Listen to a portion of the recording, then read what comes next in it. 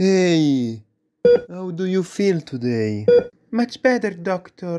Thank you. You know, when I grow up, I want to become a doctor and save lives, just like you. No, You will never grow up.